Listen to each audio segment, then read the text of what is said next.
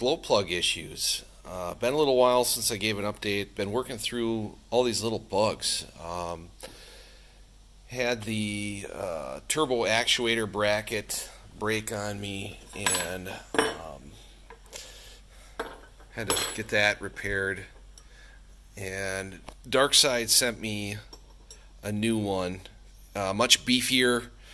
Uh, it was able to hit the third third bolt hole on the, the exhaust housing and uh, filled in some of this loose space here. You can see that it cracked right there.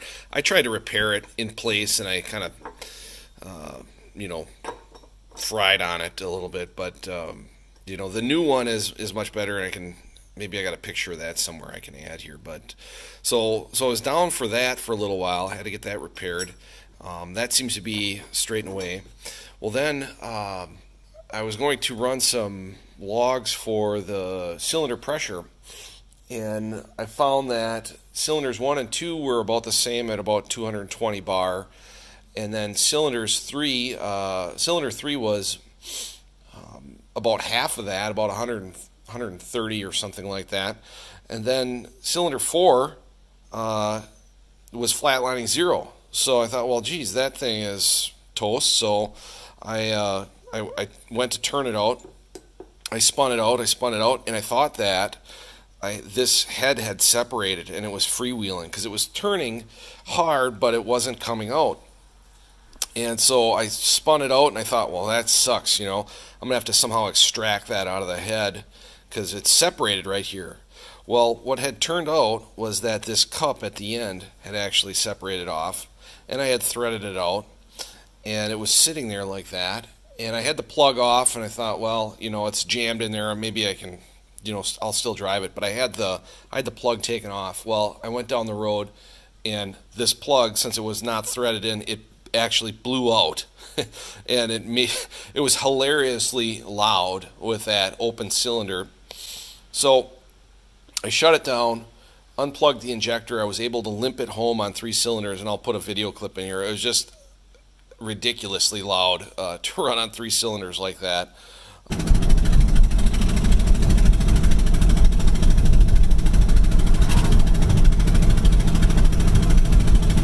Um, but I unplugged the injector so that it wouldn't wash the cylinder with diesel and just got it home about uh, five miles. Um, so this was number four. That one blew out. Number three, that was um, that was reading a different uh, pressure. Um, I replaced, and then I started to do some, I guess, destructive testing on it to see what was going on with it. But um, this one, you know, has a bit of meltiness to the end. But um, well, then I decided to check uh, one and two, and this guy uh, I don't know if you can see it here. This guy is certainly melty, and there's some material coming off, and same with number two, uh, even worse, you know. And I got a couple of close-up pictures I can put on there, but um, not good. I, I, don't know if the, not sure if the um, injector is spraying directly on it, and what I'm gonna have to do, I think I'll I'll stick. I have my junk head here.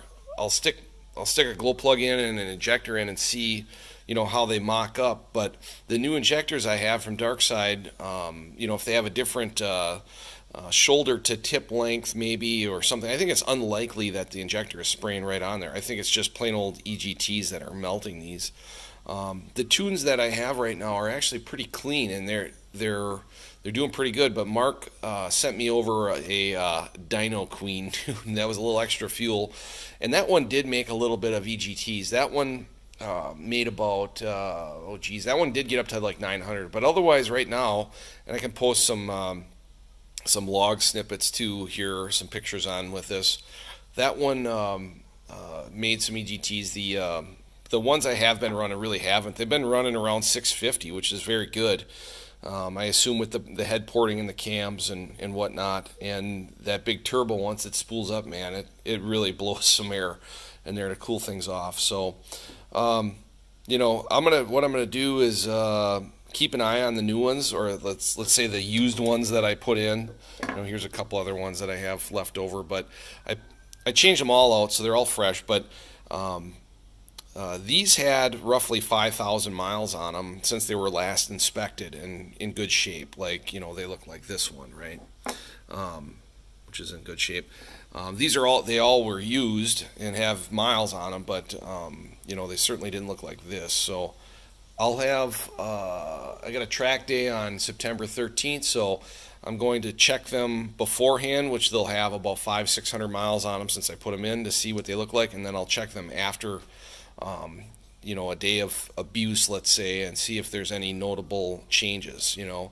And maybe it's just that one uh, high fuel tune that did it. We get into a, a longer uh, duration uh, uh, ejection, injection event, and that maybe is, is what's doing it. And so I think what we're, we're going to do is, I, what I would like to do is keep it to um, a higher rail pressure, shorter injection duration um, if we, you know, to add more fuel uh, to hopefully keep keep that injection um, event at the most ideal timing possible uh, to keep those EGTs down. And you know, if this if this tip would have broken off, I mean, it would have been game over, and it would have been you know destroyed engine again, or at least a destroyed cylinder. So, um, yeah, gotta keep working these bugs out. And once I once I have you know a little more information on this, um, then I'm you know I think I'm